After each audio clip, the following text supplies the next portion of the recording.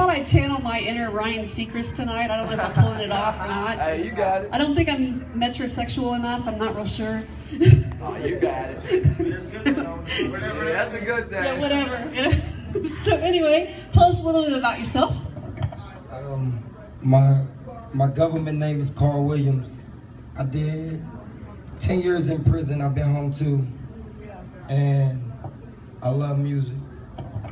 And uh, I've been in the studio all night, so my voice is shot, but it doesn't stop. No. I put my heart in all my music. Fantastic. Now let me ask you this question. When it comes to making good music, what is more important? Raw talent or passion? Passion, Tell me why.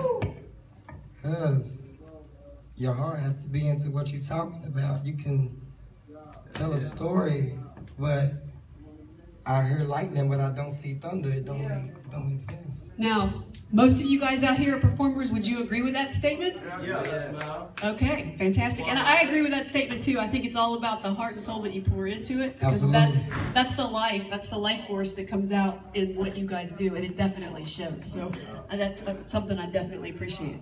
It's the artist. Now, when you were a little boy, what did you want to be when you grew up?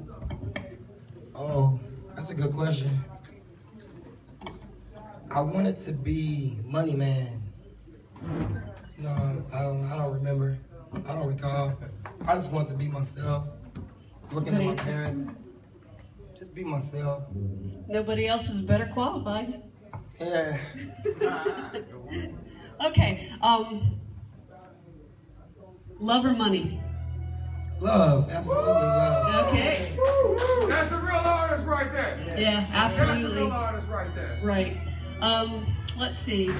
I asked this question earlier tonight. I haven't had a chance to break it out again, so I'll ask it now. Boxers or briefs?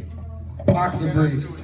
Boxer. Ooh, a healthy mix between the two. Boxer briefs. you have comfort.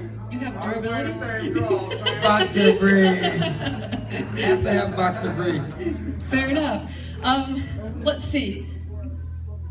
Would you rather? Would you rather see a lot of places in the United States or travel to a couple places throughout the world? I would rather see the United States as a whole. Everything. Everything there is to see. Yeah, I want to see it. Uh, I, would- if I had a choice, I'd much rather, but I would be content in seeing. But if I had a choice, yeah, I want to see the world. Cool. Me too.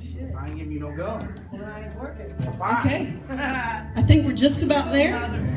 I don't. I don't want to turn you loose on this mic until your name is up there. So Okay. yeah.